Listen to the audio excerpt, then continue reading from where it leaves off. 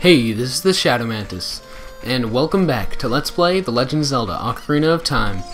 In the last episode, we did a lot of things around the forest, and uh, got a couple of heart pieces, and a couple of upgrades, and in this episode, we will be doing a little bit more of that, just around Kakariko, and hopefully we will actually go and, um, you know, continue on with our quest.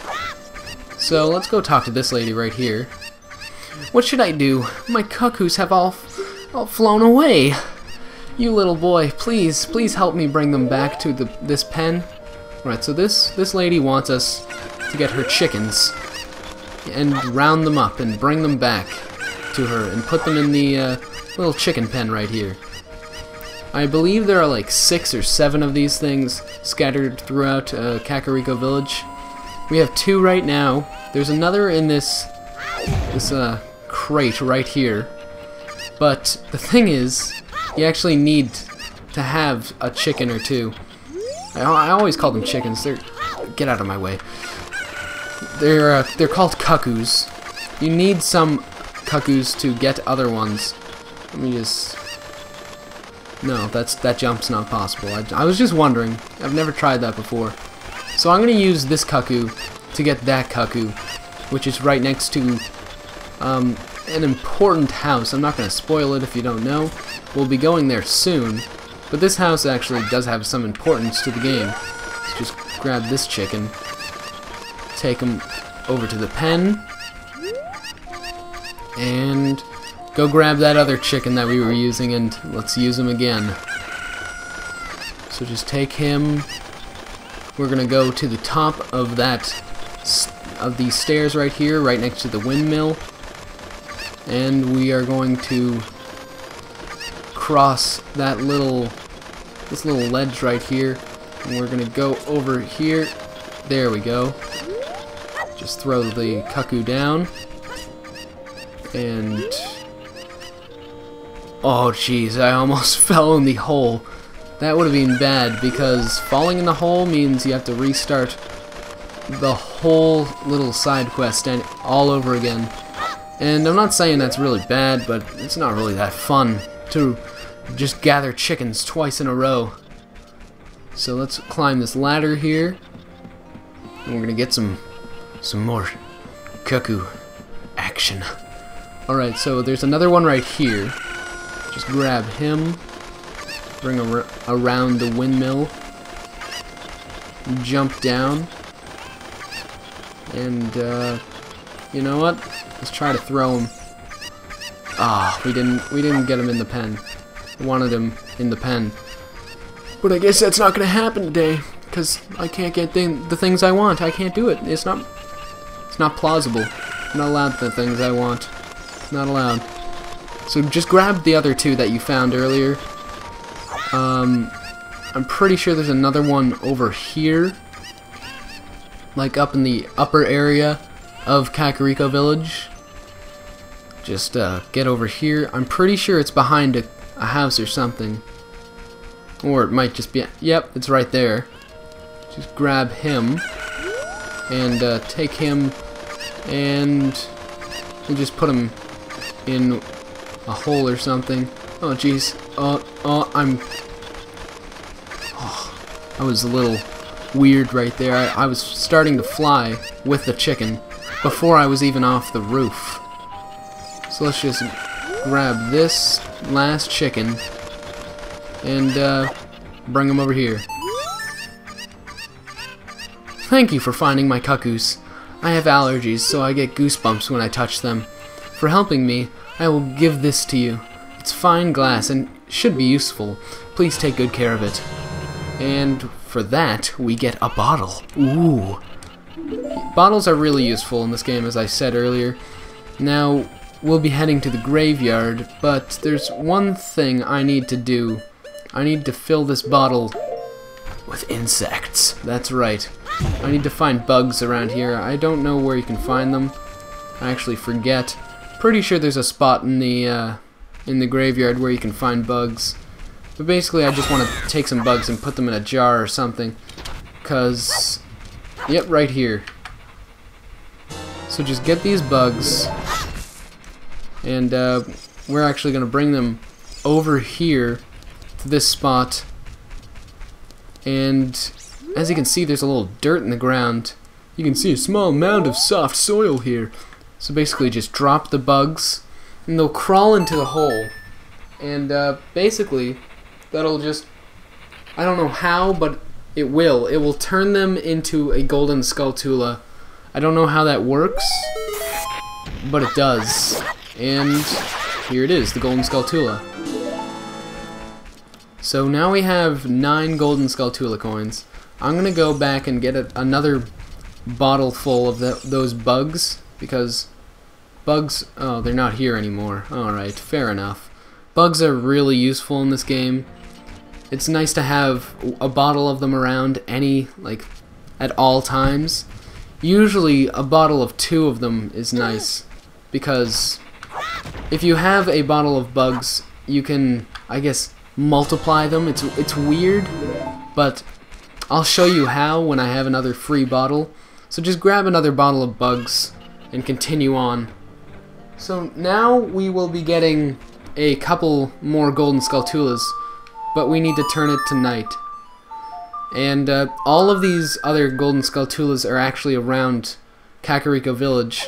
So now that it's nighttime, let's go find them. There's like like five of them around. Yeah, there's a lot we can get right now.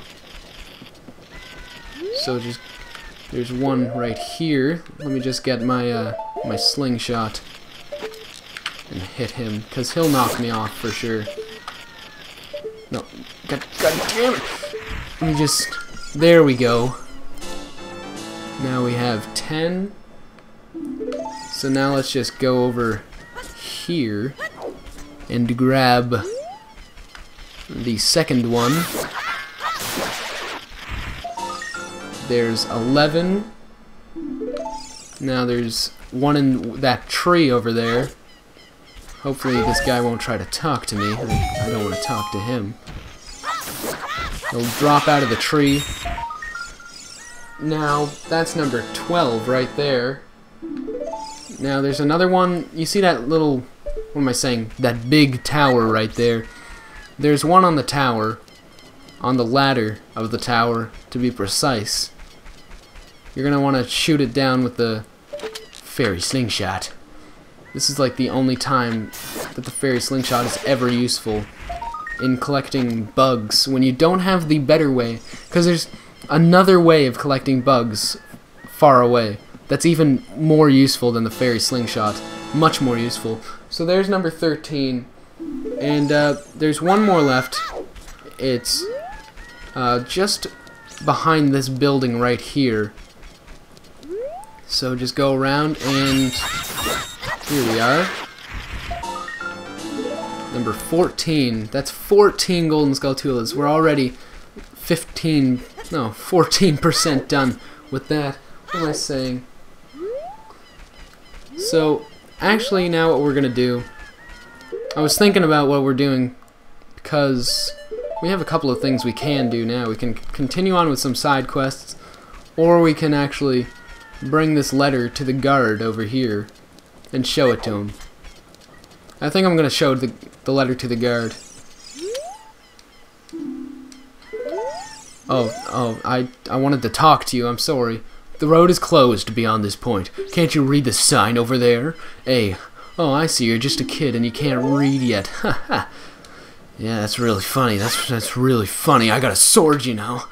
I could kill you. No, you got a spear, but not, you know, there, your legs hurt. You know what, let's just continue. So just show the letter to the guard, and he'll... He'll just be like, oh, this. This is surely Princess Zelda's handwriting. Well, let's see. Hmm. Okay. This is Link. He is under my orders to stay if I rule.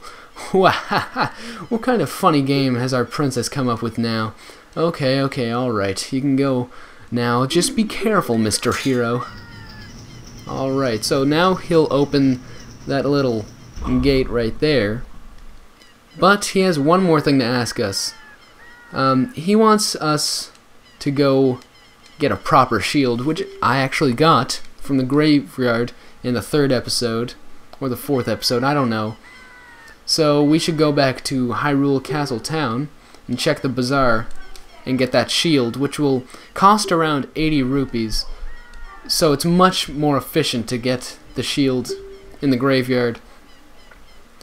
Now he's gonna ask another favor of us, and he's just gonna ask, you know, have you been to the Happy Mask Shop? It's, it's this is the beginning of a giant just trading side quest. I'm gonna start it actually. Now thinking about it, I am going to start this side quest right now. So this little conversation right here, it opens up the Happy Mask Shop, where we can go and you know get a mask. He wants us to get this little mask called the Keaton mask, and I am going to go get that for him. Now, to do this little side quest, though, you're going to need a couple of rupees. 20 should be fine, but if you don't, just look around for some rupees. If you've been following me, if you're even following me, then you should have enough rupees to start this side quest. So right now I'm just going to head back to Hyrule Castle Town and get the Keaton mask. Gotta turn it to daytime first, though. There we go. And now everything should be good. Oh, oh, oh no, oh no. Don't hit me. So as you can see, the drawbridge is actually down. I wish, I wish I could walk faster in this game. That is the one thing that I don't like about this game. Because this is one of my favorite games. I, people are have mixed feelings about this game. I mean, some people call it one of the greatest games of all time, and then on the other side, there's people saying, this game's one of the worst, it has big problems, and I, I don't believe that. I believe, I wouldn't call it a masterpiece, but I'd call it a great game, for sure. So in the market, just go over to this little mask shop right here. You can clearly see it's a mask shop because it has a giant mask on top. Hi! Welcome to the Happy Mask Shop. We deal in masks that bring happiness to everyone. How would you like to be a happiness salesman? I'll lend you a mask. You sell the mask and bring the money back here. If you want to read the fine print, take a look at the sign right over there. After you've sold all the masks, you will become happy yourself. Have faith. You know what? Let's buy the Keaton mask for 10 rupees. I borrowed the Keaton mask. And, uh, let's go bring it to that, that guard over there. He really wanted that for his little boy. So, we'll bring it to him. The only problem about this is it's a long walk. So, I think I'm going to cut to it. Alright, so here we are in Kakariko Village. Before I actually give the mask to the to the guard, there's one more thing I want to do um, it is actually time to go into this little house right here. I've been calling things little a lot. I've just noticed that. I'm like, let's go into this little house. Let's go into this little area right here. You know, little, little, little. I need to stop that. We look like this because of the spider's curse. But since you destroyed 14 spiders of the curse, the curse is starting to weaken. Did the kids who return the norm to normal give you any rewards? You should know that the only way to become rich is to destroy as many spiders of the curse as possible. There are some tricks to finding them all. I don't care. I've, I've memorized them. I know where they are. So, yeah, these people were actually cursed. And the only way to undo the curse is to get all these spiders, uh, Golden Skulltula coins. This guy gives you an adult's wallet, which lets you carry a lot more money. Actually, it gives you double of the money, which is really helpful. But we could do better, I'm pretty sure. Why, why did I just roll into the door? So now, let's just go give the Keaton mask to the guard. Let's just go... I can wear the Keaton mask. I look pretty. I look like a baller, don't I? I look like a baller. Yeah, it's because I'm a baller like that. I'm a, I'm a baller, you know.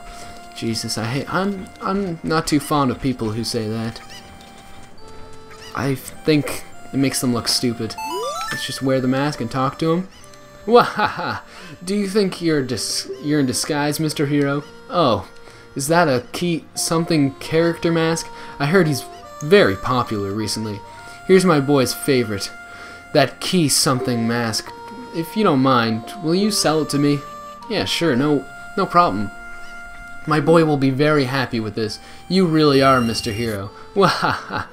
You sold the 10 rupee mask for 15 rupees. You earned a little profit. So, yeah, I just got 5 rupees of profit. I know, pretty good, pretty good. But, um, you know what? Let's head up the mountain right now. This is a pretty long video, but, um, I think I'm, I'm just gonna head up to mount, the mountain, show you a little bit of what's to come, and, uh, then I'll end off the video. So, this is probably one of my favorite areas in any Zelda game. I really like Death Mountain here. I don't know, it's probably a nostalgic feeling. I always got stuck at this point, so uh, when I was younger, so this is probably the area I spent the most time, like in any game ever, probably. Because when I was like maybe six or seven, I always got stuck at this point right here. I was just like, what do I do now? Oh, let's just go outside to the mountain. And I'd be like screwing around the, in this mountain doing nothing, nothing very like good, at least. So all we have to do is climb up all the way up the mountain. And uh, as you saw that little thing right there, oh, oh geez, he's coming at us. Uh, earlier, that little ball, that's actually a person. Well, not a person, but a Goron. Gorons are, uh, I guess, little rock creatures. I gotta stop calling things little. I really need to stop that. And here is their city, the Goron City, as it is so correctly named. Let's talk to some of them. Oh, I'm so hungry. Everyone feels faint from the hunger because of the food shortage in this town. We are in danger of extinction. It's all because we can't enter our quarry, the Dodongo's Cavern. We Dodongos live on a diet of rocks, and the most delicious and nutritious rocks around here are found at the Dodongo's Cavern. But that seems like ancient history now. We've become such gourmets that we can't stand to eat rocks from anywhere else. I want to eat the rocks from the I want to eat the top sirloin rocks from the Dodongo's cavern. So, obviously, there's an area blocked off where they get their food from. So that's a problem. Hey, it's dangerous for a little kid like you to come out here. You might fall down. If I'm not mistaken, you came out here to eat the red stone. Well, too bad. It's not here. What? That's not why you're here? You're looking for a spiritual stone? You must be meaning that delicious looking red stone that was once displayed here. I was so hungry that I thought it would be okay just to give a tiny lick. So I snuck out here, but it's already gone. I think Big Brother took it away. He always says that everyone is after that red stone. Big Brother has shut himself in his room saying, I will wait in here for the royal family's messenger. Oh, so some some guy they call Big Brother has locked himself in his room with the spiritual stone. He's waiting for someone from the royal family. Well, I happen to be from the royal family. So we will fix this problem in the next episode. Thanks for thanks for watch for what? Oh, gee, the camera. Camera, stop. Thanks for watching and I hope to see you in the next episode. Oh, camera.